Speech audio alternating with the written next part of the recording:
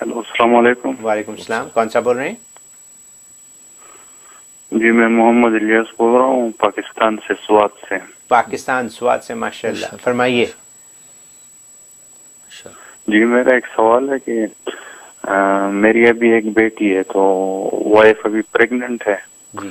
تو میں چاہتا ہوں کہ نارینہ اولاد کے لیے کوئی ایسی دعا یا وظیفہ ہو تو ہمیں ذرا بتائیں اس کے بارے میں۔ جی ضرور۔ بہت شکریہ لیاس صاحب۔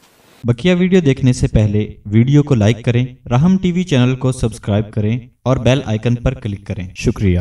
ماشاءاللہ سب سے پہلے آپ کی محبت کا شکریہ۔ اتنی دور سے سوات سے آپ جو ہے وہ بات کر رہے ہیں اور سوات تو ظاہر ہمارے پاکستان کی جو ہے وہ خوبصورتی اور زینت کا جو ہے ایک تاج ہے۔ اللہ تعالیٰ آپ کو خوشیاں دے۔ تو اس کے لیے آپ نوٹ کر لیں۔ ایک تو سورت یوسف۔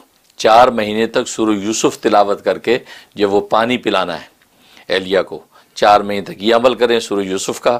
اور دوسرا یہ کہ جو حمل اللہ نے عطا کر دیا، نیت یہ کر لیں کہ یا اللہ اس کا نام ہم نے محمد رکھ دیا ہے، آپ کے پیارے نبی کے نام پہ۔ چنانچہ حدیث میں آتا ہے کہ جس حمل کا نام محمد رکھ دیا جائے تو وہ اولاد نرینہ ہی ہوتی ہے یعنی بیٹا ہی پیدا ہوتا ہے۔